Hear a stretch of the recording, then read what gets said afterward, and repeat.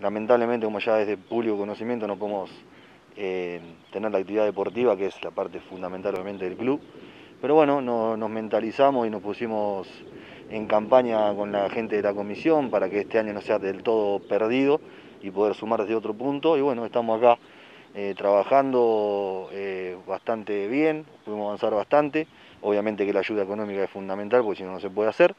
Eh, pero bueno, por eso, como te digo, pudimos avanzar en lo que es el vestuario que se ve acá atrás y, estar trabajando también en el piso y muchas cosas que, por, si fuera por la pandemia, a lo mejor no la pudimos haber hecho.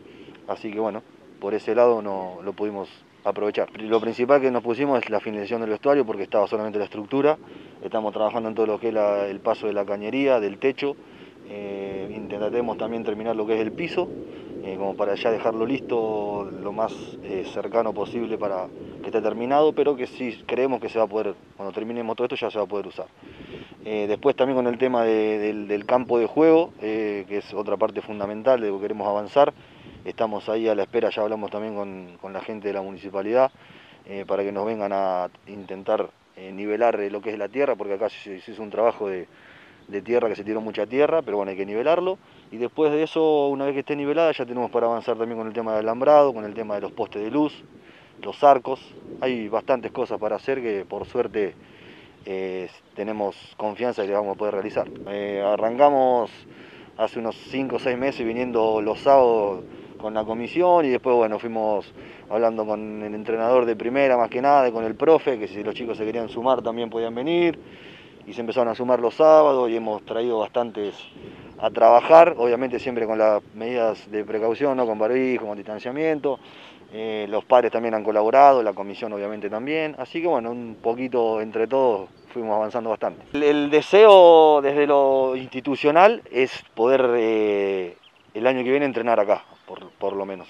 Eh, jugar va a ser más complicado porque ya va por un tema más de habilitación y que son otras cosas más finas que hay que hacer pero el deseo y que no lo vemos como tan lejano es poder eh, entrenar acá. Eh, después, bueno, esperamos como todo que esto pase, volver a tener los chicos que lo puedan venir a disfrutar y, poder empezar a, verlos correr por acá, que bueno, sería un sueño para todos. ¿no? Eh, primero le queremos pedir a la gente que nos ayude a no tirar más basura acá, porque bueno, estamos acá en, en la cava, en eh, está tirando la municipalidad, pero solamente lo que es, no es eh, basura residual de, las, viviendas. ¿sí? Y bueno, eh, si nos pueden ayudar con eso, porque bueno, un día vienen, tiran una, una bolsa, el viento desparrama todo y se hace el trabajo mucho más cuesta arriba. Así que le queremos pedir a la gente que nos, en la calle que nos ayude desde ese punto.